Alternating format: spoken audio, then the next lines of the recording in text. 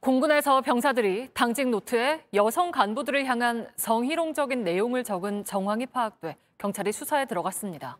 아홉 달 넘게 이어진 일이었는데 뒤늦게 이 사실을 알게 된 해당 부대는 상부에 보고하지 않았습니다. 김지아 기자의 보도입니다.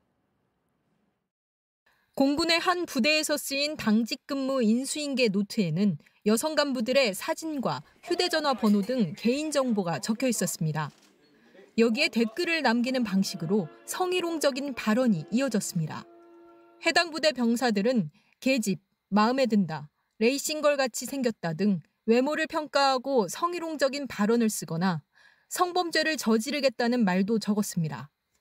이 같은 행각은 2021년 11월부터 지난해 7월까지 약 9개월이나 이어졌지만 피해를 당한 여성 간부들은 전혀 모르고 있었습니다.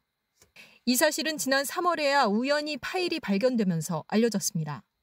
하지만 이 부대는 파일을 신고한 부대원에게 문제가 될 수 있으니 삭제하라고 회유한 것으로 알려졌습니다.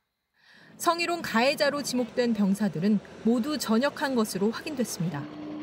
공군은 뒤늦게 가해자를 민간 경찰에 수사 의뢰했고 신고 보고를 받고도 상부에 알리지 않은 간부 2명을 입건했습니다. JTBC 김지아입니다.